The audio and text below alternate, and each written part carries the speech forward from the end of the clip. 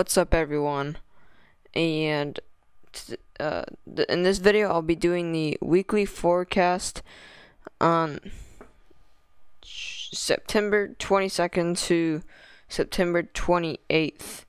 If you are new, make sure to like, subscribe, and turn on those post notifications so you don't miss any of my live streams or videos.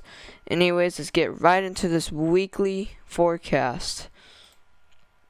Here's the uh, today's thunderstorm outlook. Today's Sunday, and we do have a marginal risk over the area of central Illinois, Missouri, parts of Kansas, and Oklahoma. Now, the main threats for these are um, rain and um, wind there is a chance, there is a threat of tornadoes, but it is mainly isolated tornadoes. Here's tomorrow's outlook, uh, September 23rd. There's a slight risk for severe weather over the uh, Arizona area and a marginal risk over the Arizona, New Mexico, Nevada, uh, in Southern California area, and there's a this uh, general thunderstorm risk over these Texas, Oklahoma, New Mexico, Louisiana area. And the main threats right now, there's a threat for tornadoes. I don't think the threat for tornadoes will be that huge, but I will keep an eye on this. If it does get bad, I might do a short live stream. But here's a temperature outlook for this week.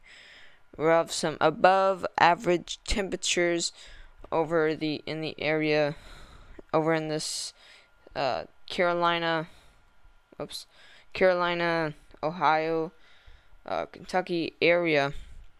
And then we'll have the uh, second layer of the above average.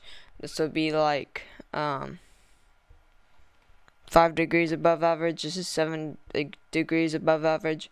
And then the third layer is 3 degrees above average. I don't know why, why it keeps doing that, but there we go. And then we'll have the, um, I put up below average because there is a trough right here, um, of uh, below average temperatures.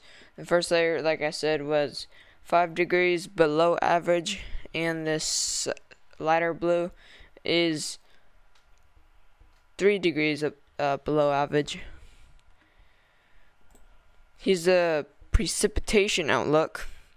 It's going to be very dry in the Georgia and Carolina, uh, Alabama area.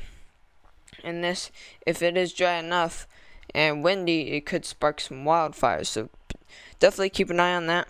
And the I, the precipitation outlook above average is over the Arizona, New Mexico area, and also the Illinois, northern Missouri, Iowa area, and also parts of Indiana and Kansas.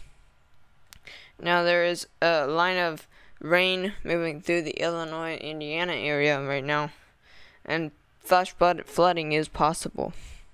And this is uh, from tomorrow's outlook from the rain that's supposed to move through there.